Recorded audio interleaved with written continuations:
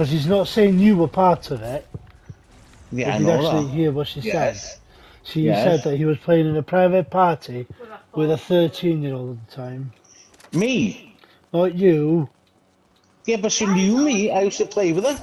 Yes, she used to know me, fucking Yeah. Person. yourself sound like a perv sometimes. I was not talking about you. Karen and Tony gave you permission to go into a lobby with her because they met you. Mm. So you can't deny that. So, Alright, that's fair, yeah? Yeah, I'll give you that one, yeah? even Rachel said, fucking, if you, me or her I are there, then everything's fine. non-sign. So calm down then, then we will call you a non. I know nobody did.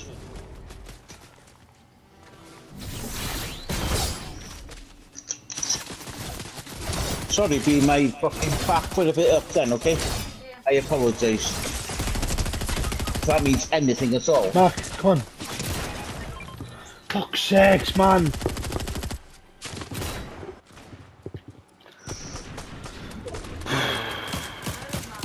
Right, fucking hell, half a mile away.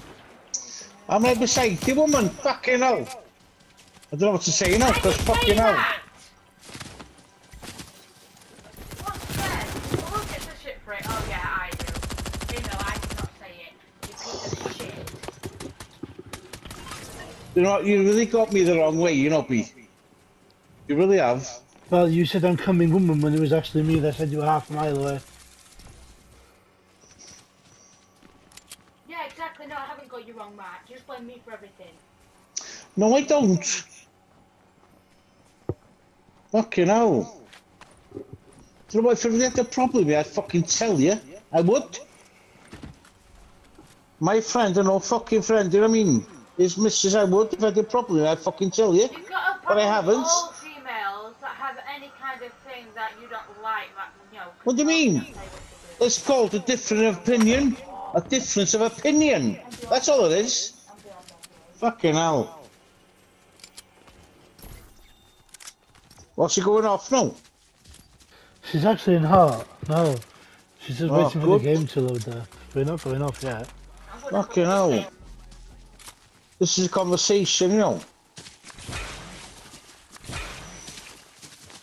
Mate, there's conversation and getting angry over fuck all, don't shout What do you mean? Right, Trevor, I, I'll just do this.